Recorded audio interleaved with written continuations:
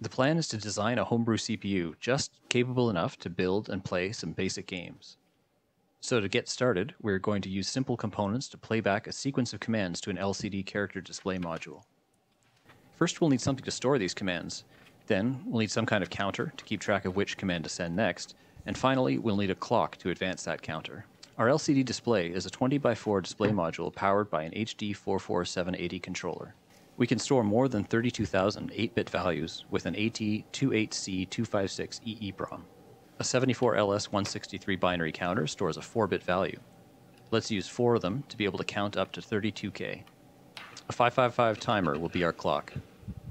8-bit values from the EEPROM can be used to set the display module's D0 through D7 inputs but we'll need to come up with a way to set the RS, or register select, input as well.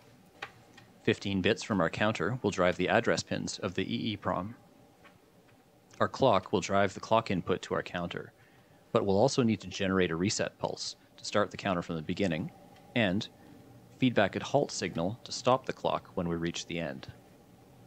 I hope you're interested in the project. Use the subscribe button and the bell to be notified when a new video is available. Thank you for watching. See you next time.